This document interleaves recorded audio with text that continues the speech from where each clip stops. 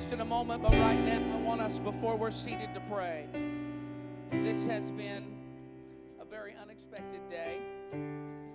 But uh, as we were brainstorming, my dad and I, what to do, I had the inkling the question was coming, and the Lord dropped what will be our text for tonight that I'll get to in a moment, but I believe I do have a word from the Lord. Thank you for the warm reception. I can tell you the nerves were high. Seeing as y'all know me, but I believe the Lord has put this on my heart tonight. So let's pray that we would have hearts to receive and ears to hear what the Spirit would say to the church by the authority that is in the name of Jesus. I pray, oh God, that Lord, the seed of your word that is about to go forth. God, it doesn't matter who carries it, Lord. What matters is the power resides within your holy word. And I pray in the name of the Lord Jesus Christ that God, the seed of the word, would fall upon healthy soil, soil that is full of faith, soil that is full of expectancy. Oh God, the hearts of people, Jesus, that are ready, oh God, to experience all that you have for us tonight. I pray, move through your word in Jesus' name. And if you're going to preach with me tonight, put your hands together and give God praise.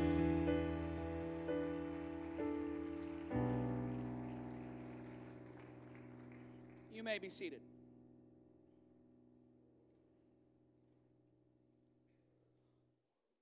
Let's go ahead and roll that clip. We need some volume.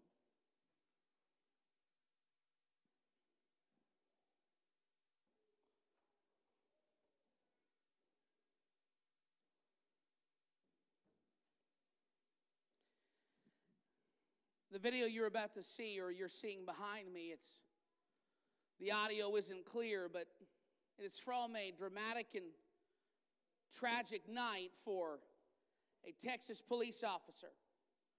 Her name was Ann Carrizales. What you saw off screen before she does the three point turn there was on a routine traffic stop. Ann Carrizales took two bullets at point blank range. One of them to her face, another to her Kevlar vest. During an early morning traffic stop.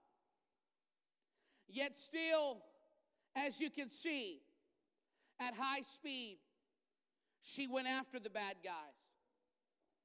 We have a picture of Ann I would like to show you where she was interviewed on today, television show, and Carrizales pulled a car over in Stafford, Texas, just outside of Houston at 3 a.m. She said her instincts told her that something was amiss as she walked up to the car with three men inside, and with seconds, the front seat passenger leaned over and began to fire in her direction. Carrizales was hit twice. A bullet went through her cheek and then once hit her vest that most likely saved her life. She fired back as she fell to the ground as that car sped off and shattered its rear window. Bleeding and in pain, she got into her squad car and she gave chase. Drifting around corners at high speeds while calling out cross streets, she took pursuit for more than 20 miles. The entire dash cam video, which we have cut for brevity, is nine minutes long. When asked by the interviewer why, more importantly, how, she says it wasn't an option for me to give up. The 40 year old former Marine and mother of two told NBC's Janet Shamlian, she said, I had to stay in the fight because I'm a mom. They shot me. And they were absolutely not, absolutely not going to get away with that. Because I will do everything I can to come home to my children every day. This mom was not to be deterred. I think we've got a photo of, of this officer. If we could just cut the clip and go ahead and show that photo there. It was she was not to be deterred. She was not to be stopped because she was passionate about her children. And in that moment when that bullet ripped through her cheek and another slammed into her vest with enough force to crack ribs and bruise organs, it was not her Marine training. It was not her championship boxing skills, but it was her passion for her babies that were at home, waiting for mom to get home from her shift that consumed her. And when that passion consumed her, there was no way that two bullets and three bad guys could ever stop her. Passion. Passion is this mysterious force. And of all the qualities that human beings uniquely possess, it is this powerful thing that stands apart of all of our cognition and logic and, and all of the other things that make a human being a human being. Passion is both difficult to describe, yet incredibly clear when it is staring you in the face. We talk about passion all the time, and we describe it best with words that seem to have no logical bearing on human emotions. We, we describe it with terms like colors and temperatures like red hot or boiling with, or we describe it with basic instincts like hunger for or thirsty for. But passion is both an emotion, a desire, an act of the will, all at the same time, churning within the heart of an individual is the deep desire of a soul that will stop at nothing.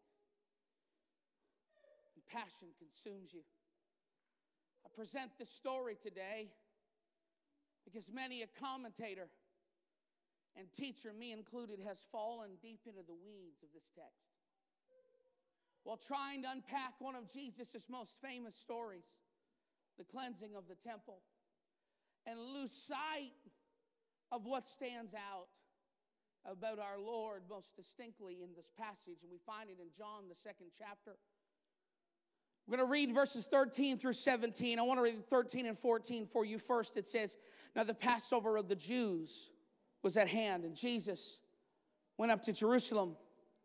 And he found in the temple those who sold oxen and sheep and doves and money changers doing business. See, here's what would happen is at the Passover, worshipers would come and from all over the world to worship God and the priests had established this lucrative business opportunity of exchanging foreign money for Jewish coins and selling animals needed for sacrifices, as the animals would not be able to make the trek and the trip over the seas and across the various lands that people would come from. There was nothing wrong with this practice. There was nothing wrong with providing an opportunity for people to worship in a right way. The problem was where the practice was being completed. The tragedy was that we're about to see unfold is that this business, this lucrative opportunity, people, they couldn't just come to, to come to God and give an offering with coins bearing the image of pagan gods. That would be idolatry to Judaism. They needed to exchange the money. They needed to get a blemished lamb from somewhere. Not everybody was a farmer. The issue was not that it was being done, the problem was where this practice was taking place. It was taking place at the court of the Gentiles in the temple. It was the place where Jews should be meeting non Jewish seekers of God, telling them about the Lord, telling them about the one true God showing how he's the maker of heaven and earth and how his ways are right and his ways are holy and his ways are good and that it was the place where gentiles that were not allowed from entering in the temple it's it's a place where they could go and they could find truth. It was a spot created just for them that said even though you may not have come from the right at this particular time in history the right religious family or the right pedigree god does not want to stop you and we don't want to stop you from experiencing the Lord. But now, this court that was reserved for people that were outside trying to get inside was now filled with merchants.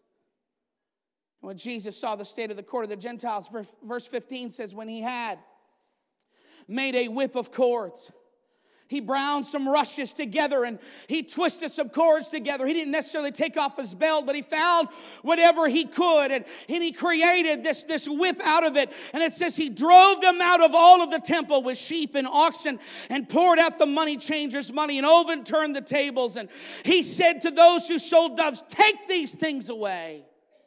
Do not make my father's house a house of merchandise. The scene is dramatic, it's provocative. It's upsetting. Furniture is broken. Animals are running wild and making crazy noises in fear. Coins are flying through the air and flying from their scales. There, there are animal cages that are being broken because Jesus is making a disturbance. Yet, all this while, standing off to the side are the disciples. Their mouths are no doubt hanging open. This is, this is John chapter 2. This is very early in their relationship with Jesus, and they're like, Are you sure? This is what we want to sign up for. There's no doubt some guys, their mouths are hanging open. The more introverted and quiet ones are whispering awkward underneath their breath and trying to not make eye contact with anybody as their follower is losing his ever loving mind, tipping tables over and, and breaking open animal cages and, and, and driving out whole large cows with horns on their heads out of the temple. This is a chaotic and crazy scene. They're no doubt watching with fear and amazement. Fear because the temple officials would not just let this go, Herod would not just let this go. Amazement also because Jesus, he's acting so decisively and almost without regard for the consequences. But as they stand there with their guts churning and their hearts pounding, at some point, little sparks of a Bible verse learned at a Sabbath school a long, long time ago as little boys began to light up in their minds, bringing back to remembrance an ancient prophetic utterance from David about the Messiah and what he would be like. Because verse 17 says, Then his disciples remembered that it was written, Zeal for your house has eaten me up. Some point as Jesus is tipping over yet another table, and yet another cow is scurrying out of the temple. It flashes in their mind could this be? Exactly. Could this be? Could he be exactly who they said he would be, because this is a quote from Psalm 69 9, where David was being persecuted for his passion for God. And, and there were elements within Israel at this time that had departed from holiness and they had departed from righteousness and they had departed from truth. And he was the last one there standing. And he was he was being persecuted and he was being chased, he was being ostracized. But at some point, as he was sitting down, huddled in the forest, uh, scratching out this psalm to God, it no longer longer became his story about himself, but became a prophecy about the character and the heart of the Messiah. That the Messiah would be one whose zeal would eat him up, passion would consume him. Zeal means excitement of the mind, fierce enthusiasm, fervor of the spirit, not tame, savage. That's what this word means in the original language of Scripture. In Greek, it comes from the Greek word, or the root Greek word of zelos, is zeo, which literally means to boil with heat. To make liquids boil or solids glow with heat. The zeo for your house has eaten me up. It's a picture of a person that on the deep insides of their soul they are on fire for something. And the riveting, arresting potency of Jesus cleansing the temple is not found in the power of the whip, it's not found in the flip of the tables, it's not found in the splintering of cages. What arrested the temple that day was not the words that Jesus said alone, but it was how he said them and the, and the feeling that came and emanated from his being when he said them. It was his passion that captured his attention. And when passion consumed Jesus, he would not be deterred. When passion consumed Jesus, he was willing to be forsaken. He was willing to endure pain. He was willing to go through punishment. He was willing to be a public spectacle. He was willing to act without regard for the consequence. When passion consumed Jesus, he was all in. There was no outs. He was 100% in. But the question then is begged of us what in the world was Jesus passionate about? Well, as we keep reading through the story, we discover because the Pharisees come and they meet Jesus after he has driven those animals out, and as the money is scattered around his feet, and the tables are up on their le- up on their on their back, their legs are in the air. They sneeringly come up to him and go, "Who gave you the right to do this? Show us a miracle, buddy." Prove yourself. Jesus, show us that you have the authority to do what you just did. And Jesus, with sweat dripping off his brow, his chest heaving from the exertion, his robe no doubt askew, he simply answers to them in verse 20 and verse 19 destroy this temple and in three days I will raise it up. Then said the Jews, Forty and six years was this temple in building, and wilt thou rear it up in three days? But he spake of the temple of his body.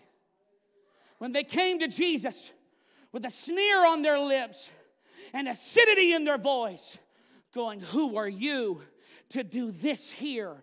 What power or what authority do you stand on to do this here? Jesus, still white hot, still consumed with passion about lost people being blocked from the presence of God, being blocked from forgiveness. He doesn't answer them, He doesn't show them a trick, He doesn't raise a man from the dead, He doesn't make water turn into more wine like He did three verses earlier. He gives them response. But because he is still so consumed, he can only speak of Calvary. He says, You hear me right now. You put all the barriers up that you want.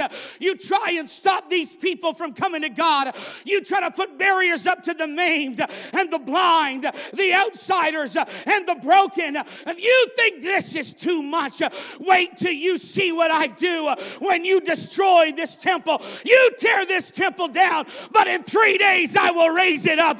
Kill me if you want to. But in three days, I'm coming back again. Crucify me on the cross if you like. But in three days, I'm coming back because you are never going to block another person from mercy. You're never going to stop another person from grace. You will never block another outsider from redemption ever again. He answered them with Calvary because he was consumed with passion. He was passionate about all people from everywhere of all nations coming to know the Lord. Look at John 2:15 again. It says he drove them out. The same verb used in 2:15 is the same verb used throughout the entire New Testament to describe the casting out of demons. He drove those animals and those money changers out. John chose to use the same word that he would use to describe when Jesus cast legions of evil spirits out of men and put them in pigs. Jesus hurled those same tables with the same thundering force that would cause the demons that filled Mary Magdalene to tremble. He hurled those money changing weights and tables uh, with the same thundering authority that he did uh, when he met the two demoniacs of Gadarenes, uh, because, like an officer desperate to get home to her babies, our God is a God of passion. Jesus is a God of passion, and our God is passionate about people. God is passionate about people. This is not the only example, and I know I've got to hurry, but he stands up on the day of the feast, the Bible says, and cries out with a loud voice If any man thirst, let him come unto me and drink. He breaks the formality of a holiday festival because he was so moved. He was so moved by the spiritual poverty of the people that were in front of them people that had religion, but they had no move of God. People that had traditions, but they did not know what it meant to be loved by God. People that had, all sorts of habits and festivals and behaviors. He was so moved with reaching them with his power and with his presence that he interrupts the formality to give them an opportunity to come to him. We find him again in Luke 5,000 people are in the wilderness and he sees them as scattered sheep without a shepherd. He sees that they're hungry and it's hot. And you turn he says, Somebody get me some food for these people. Somebody get me some food. Look at them. Look at their needs. Look, they're scattered. Look, they're my people and they're wandering out there and they're hungry. They're looking, they've come all the way out in the desert from me and they're starving. Somebody get me some bread. Somebody in the pragmatic disciples speak up and they say, We don't have enough money. We cannot even imagine how much money it would take to feed 5,000 people. And he's like, That's not good enough. That's not good enough. That's not good enough. Get me some food. Is there anybody here that has food? And somebody brings up a little boy five loaves and two fish. And not like Dempster loaves, they're like dinner rolls. But Jesus, so moved, takes that lunch and he blesses it. And he starts ripping the food into manageable pieces, miraculously multiplying those loaves until not just those 5,000 men are filled, but every man, woman, and child that is there is filled. And not only is there enough to go around, you understand Jesus, He's God, He's got all authority, He knows the end from the beginning, which means He would know the appropriate portion sizing for all of those individuals. But there is overflow, there's, there's 12 baskets left over. Jesus made more than enough. Why would He do that? Because I believe He was passionate about those people. He was moved with compassion for those people. The Lord is driven by passion, not instability of emotions, but a heart that is consumed with passion. There is a rawness to God in the Bible. And the way He acts, as wise as He is, as intelligent as He is, as sovereign as He is, when He moves towards people, the God of heaven becomes untamed. When God moves in the direction of people, when He sees their needs, He becomes untamed. There is a wild side to God. To the untrained eye, it's almost reckless. It's like an unbridled horse that's in the wilderness. You mean to tell me God, the maker of heaven and earth? Yes. The God, the all wise and knowing one? Yes. When God in the Bible meets the needs of human hearts, there is a restlessness that comes over him. There is a rawness that comes over him. And we find a God that moves so methodically and so rationally in every other arena in which he functions. When he comes in front of the needs of people and the opposition that is stopping him from meeting their needs, he will do whatever it takes. He will do whatever it takes. He'll send people across across the earth uh, to preach the gospel. He'll wake saints up uh, in the middle of a perfectly good sleep, uh, in the middle of the night, to compel them to pray. He will allow sociopathic Roman soldiers to strip him naked, to strip him bare, to beat him to a pulp, to spit and pull his beard, to mock the name that is above every name. Why would he do that? Why would he, for the joy that was set before him, endure the cross and at the same time disregard the shame?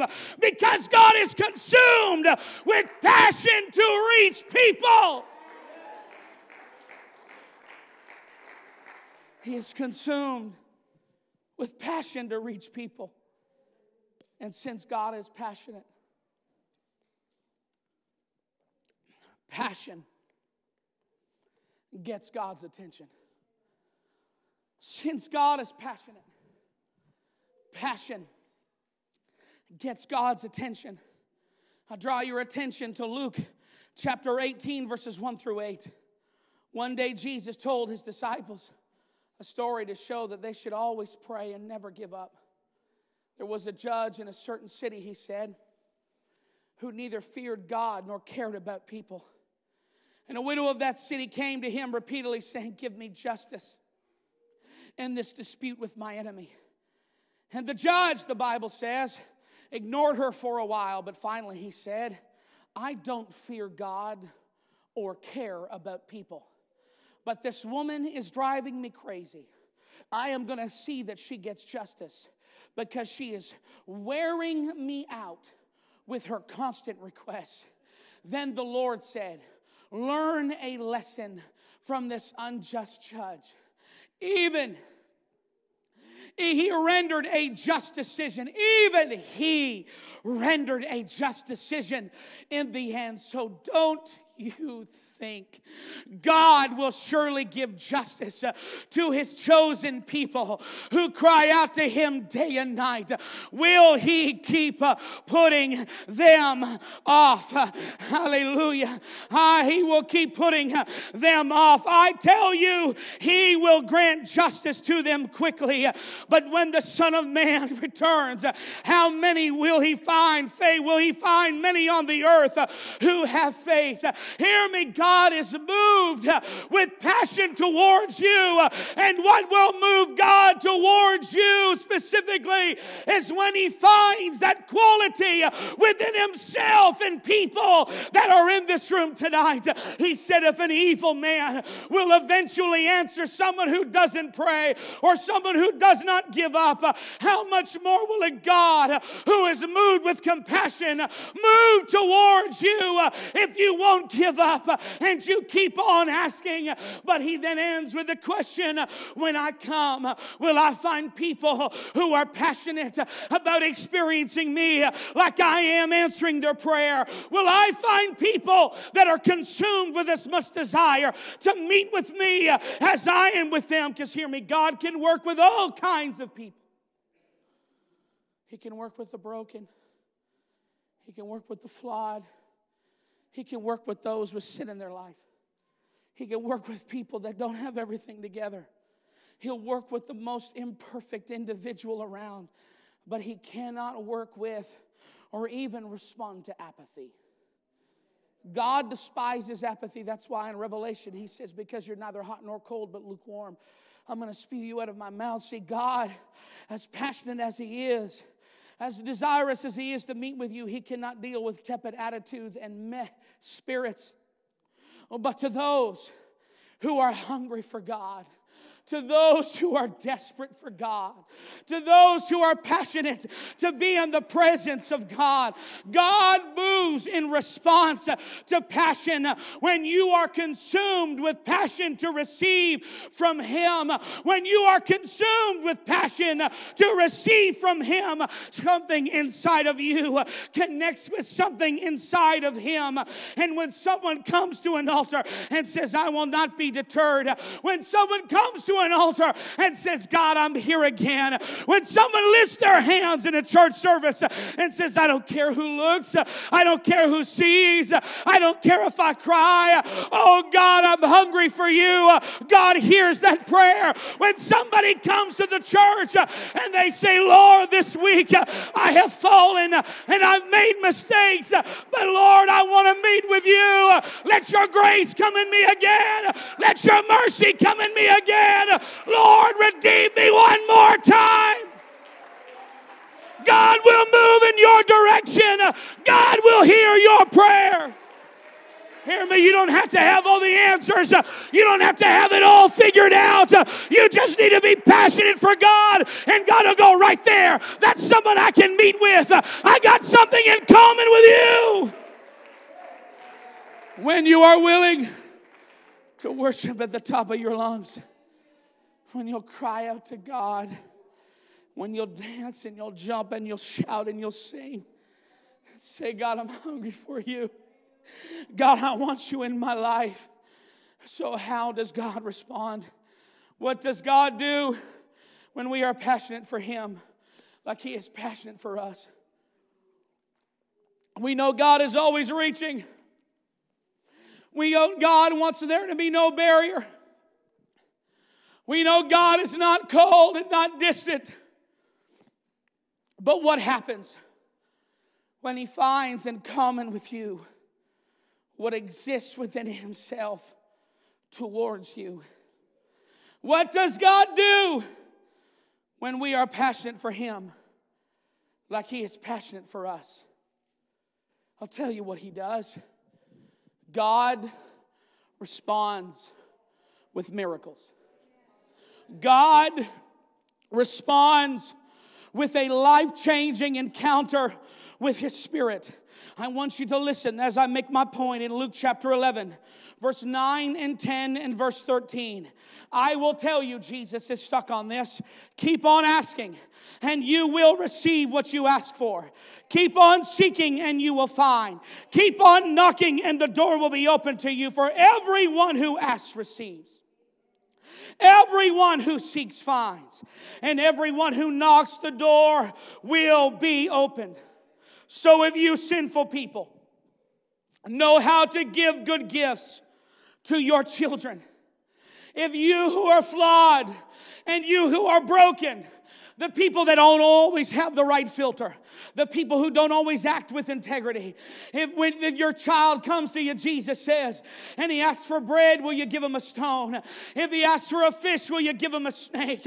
If you being evil, if when you look in the mirror, you know there are times you don't have it all together, but if you who don't have it all together, if you that still have some sin lingering in your life, you know how to respond with mercy to your children when they ask. If all of a sudden all of that junk and nastiness melts away from your spirit and you are moved with compassion towards your own children, how much more does your heavenly Father want to give the Holy Spirit to those who ask Him? Hear me. When you respond with passion, God will respond to you with the miraculous.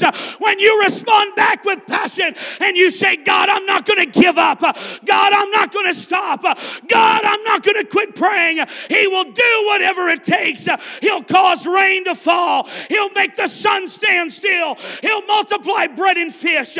He'll stop the natural course of death. He'll add years to your life. He'll make cancer disappear. He'll provide power. He'll provide favor. He'll meet your needs. He'll meet your needs of your family. He'll save your backslidden children. He'll change your life. He'll heal you of your bitterness and He will even fill you with the Holy Ghost. God is reaching right now in this room with all his might.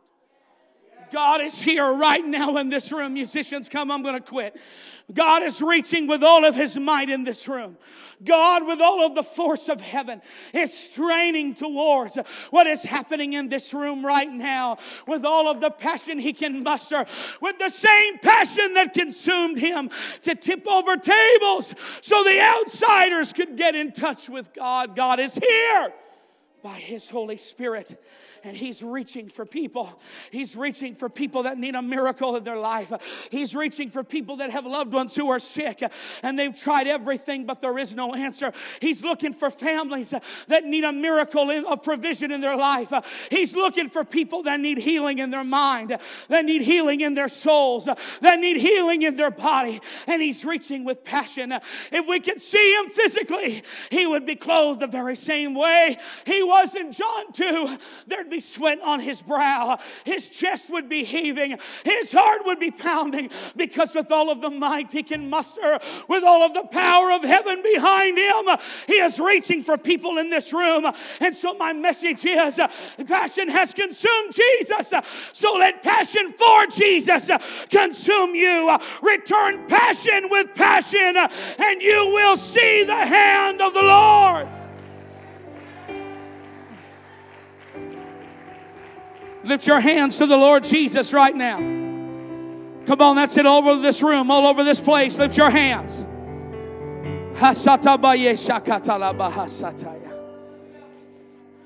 Return passion for passion. Return desire for desire. Hunger for hunger. And you will see the hand of the Lord.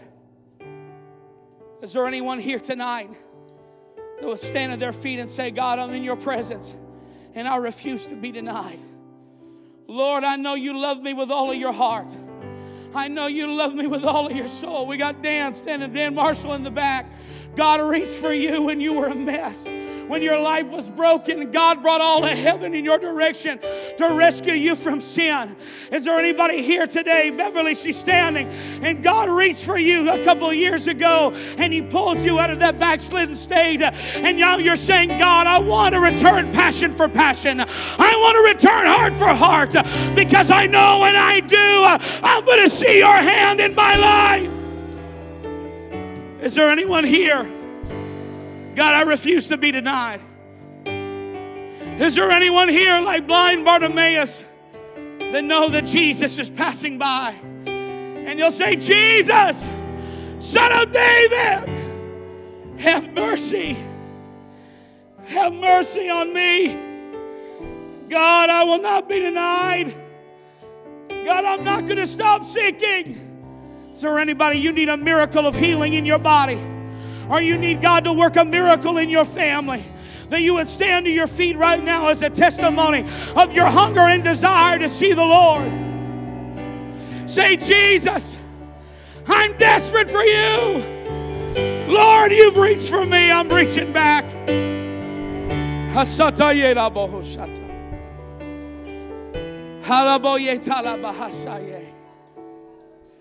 If I could have our ministry team join me here, let's all stand to our feet.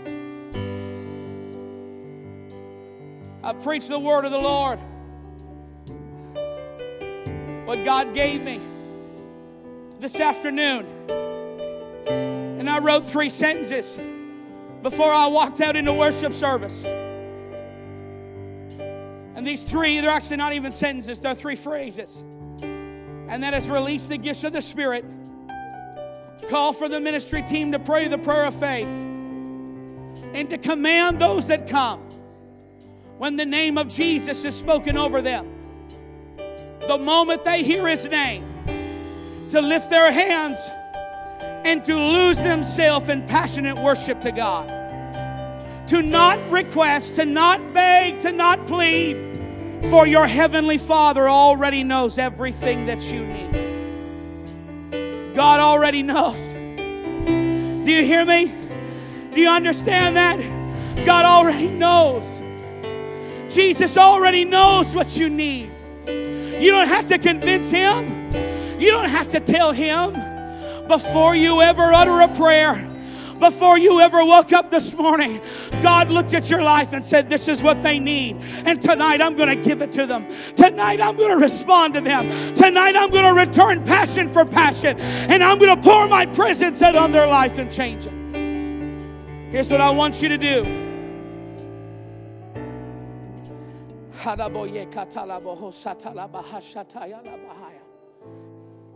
The gift of faith is now working in this room. If you have a pressing need in your life, and you are hungry for God, I want you to come and stand in front of one of these ministers right now. If you need God to move in your life, we got one that's coming. I know I'm, this is putting everybody on the spot. But passion, passion says, I don't care who sees. Passion says, I don't care who looks. That's it. That's it. Just go and stand in front of one of these ministers.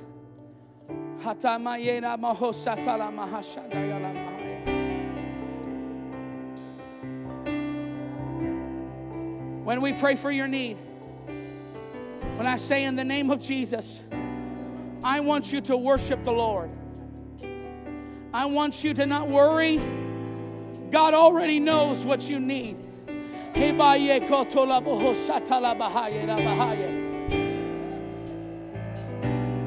That's it.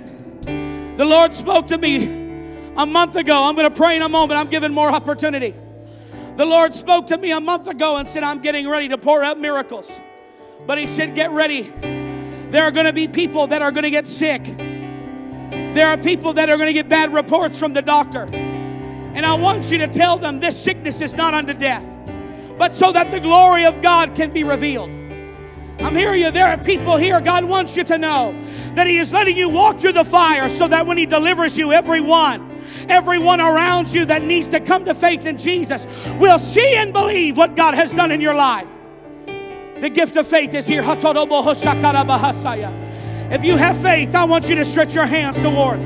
If the spouses of our ministers, the spouses of our ministers, if applicable, can come, I'm going to pray the prayer of faith. And I want you to come behind these people and lay your hands on them. By the authority of the Word of God, by the blood that was shed on Calvary, by the authority in the name of Jesus, I release the gift of healing. I release the working of miracles. And I release, oh God, the gift of the discerning of spirits into this room. You said that by laying on of hands, the prayer of faith will save the sick. We are here, oh God, praying that prayer, and we believe that you are going to answer by the authority of the name of Jesus. By the power of the blood of Jesus, receive miracles in this room right now. In Jesus' name. In Jesus' name, I want you to worship. Lift your voice in worship. Is here. The Lord